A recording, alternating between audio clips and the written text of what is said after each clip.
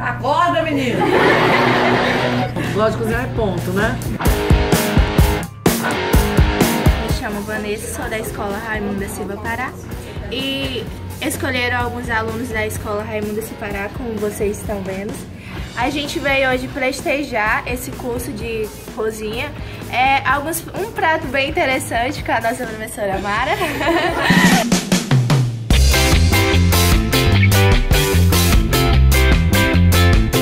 aprendeu com sua avó cozinhar? Também. Foi um curso bem interessante, assim, a gente aprendeu muitas coisas. Aprendemos uma farofa também, muito simples, mas também bem gostosa. E é isso aí, eu acho que você.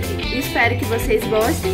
Todos nós vamos praticar um pouco em casa, ver se conseguimos. E é isso aí. Beijo.